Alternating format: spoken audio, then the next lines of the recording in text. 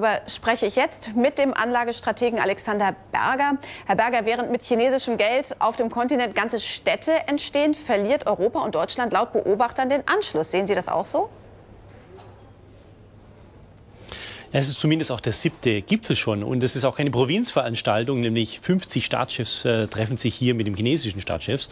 Ähm, und Europa verliert tatsächlich hier langsam den Anschluss. China hat hier eine sehr, sehr langfristige Sicht. Hm, bereits seit circa 20 Jahren ist eine sehr, sehr enge Zusammenarbeit eben mit Afrika hier vorhanden. Und auch die Seidenstraße, die es seit fünf Jahren circa gibt, ist ein sehr, sehr wichtiges Projekt. Und daher ähm, sind die Europäer hier sicher leicht im Hintertreffen. Viele afrikanische Führer begrüßen ja Peking auch als Alternative zu den eher halbherzigen Ansätzen der USA und Europa. Eine richtige europäische Strategie ist doch nicht zu erkennen. Nicht wirklich. Aber man muss grundsätzlich erstmal den Chinesen dankbar sein, weil sie schaffen eigentlich die Grundlage, dass überhaupt Europäer mal nachdenken können, zu investieren. Denn ohne die Infrastruktur, die mühsam China die letzten ja, Jahrzehnte aufgebaut hat, also Häfen, ähm, Eisenbahnlinien oder Autobahnen, ähm, sind die Grundlage, dass hier eben eine Investition stattfinden kann. Und wir haben es ja letzte Woche auch gesehen, ist ja die direkte Konkurrenzsituation entstanden. May und Merkel waren ja beide letzte Woche in Afrika, hätten sich fast ja auch noch getroffen. Ähm, und hier sind die äh, Interessenslagen sicher verschieden. Wir haben innenpolitisch sicher auch, spielt bei Merkel eine Rolle. Sie war ja auch 2012 bis 2015 gar nicht in Afrika. Seit 16 neun, Mal, äh, neun Länder hat sie besucht.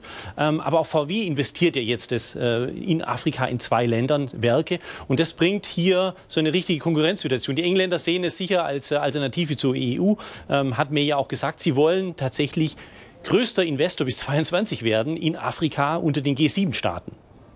Jetzt äh, sehen ja viele, äh, viele afrikanische Führer äh, Peking auch als Alternative zu Europa, weil in Peking halt nicht so genau hingeschaut wird, mit wem man denn da Geschäfte macht. Autokratie und Korruption sind aber andererseits für europäische Unternehmen ja schon ein Problem oder sollten es zumindest sein.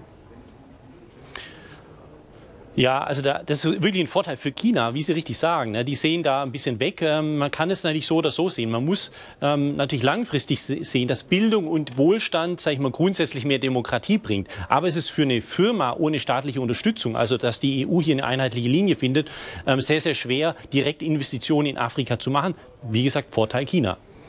Dankeschön, Alexander Berger, für das Gespräch.